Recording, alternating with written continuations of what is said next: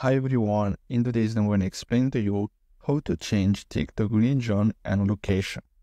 So if you want to change your TikTok region and location to United States or any other countries, what you're going to have to do is to simply close TikTok and after that you're going to have to go to your settings and then scroll down and go to general and then here you're going to have to simply uh, tap on transfer or reset iPhone and basically you're gonna have to reset your iPhone or your or your, your Android phone.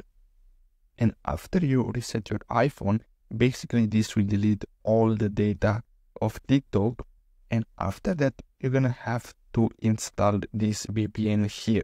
So only this one works, and this one is the best one. So first of all, install this VPN, and after that, you can go on and install TikTok and then you can create your new account and basically this account will be created in that location.